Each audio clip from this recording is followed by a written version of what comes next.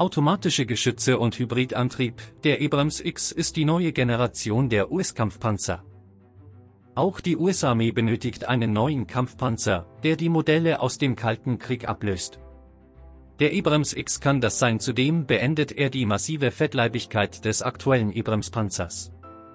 Die Rüstungsfirma General Dynamics Landsystems hat in einem Video einen Ausblick auf den neuen Abrams X erlaubt. Dem Kampfpanzer der Zukunft der US-Armee. Dabei handelt es sich nicht um ein Serienmodell oder einen Prototyp, sondern um einen Demonstrator. So ein Modell aus Metall und in Lebensgröße zeigt, wohin die Reise geht, und ist weit mehr als ein Rendering oder ein Modell für den Messestand. Der zusätzliche elektrische Antrieb soll zu 50% weniger Treibstoffverbrauch führen. Möglich wird das durch die Rückgewinnung von Energie beim Abbremsen.